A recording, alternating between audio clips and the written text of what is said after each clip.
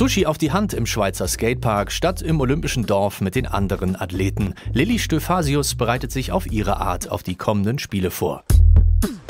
Die Verschiebung war natürlich ein Schock auf dem Weg zur vermeintlich ersten Medaille.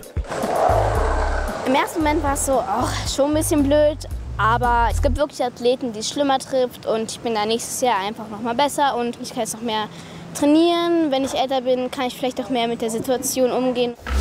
Lilly wäre mit ihren 13 Jahren die jüngste deutsche Starterin aller Zeiten gewesen. Beim Skateboard-Wettbewerb gibt es keine Altersbeschränkung. Auf dem Board ist sie aber schon ein ziemlich alter Hase. Die deutsche Meisterin, Vize-Europameisterin und WM-Dritte fährt schon als Kleinkind auf dem Brett mit vier Rädern. Mit gerade mal elf Monaten steht sie das erste Mal auf einem Skateboard. Meine erste Erinnerung ist, glaube ich, so, als ich fünf war, äh, als wir in Kalifornien waren. Und ich denke schon, dass man Vorteile hat, wenn man jung ist beim Skateboardfahren, weil du keine Angst hast und dein motorisches Lernalter einfach, das ist einfach der beste Zeitpunkt für dich. Trainiert wird Lilly von ihrem Vater Oliver, der selbst aktiver Skateboarder ist. Er achtet darauf, dass Tochter Lilly einfach nur ihren Bewegungsdrang auslebt und fördert, was sie ohnehin an Talent mitbringt.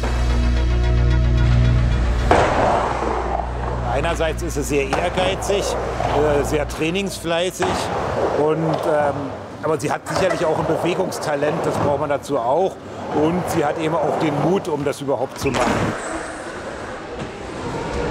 Zieh mal noch mehr die Beine an, dass es noch äh, näher am Körper hast. Skaten ist eine gefährliche Sportart. Stürze gehören zum Training und Wettkampf.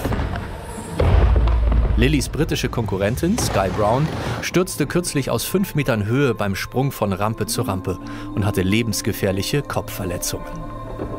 Mein erster Gedanke war so, oh Gott, äh, wie schlimm, sowas will einem wirklich nicht selber passieren.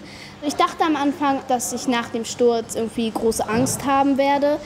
Das war aber dann tatsächlich gar nicht so, sondern ich bin genauso eigentlich weitergefahren. Lilly ist eben auch wirklich jemand, der sehr gut weiß, was sie kann und was sie nicht kann. Selbst wenn ich jetzt sagen würde, mach mal das und das, würde sie gar nicht machen, würde sie sagen, nee, traue ich mich nicht. Und da hat sie eben sehr feines Gefühl selber schon entwickelt.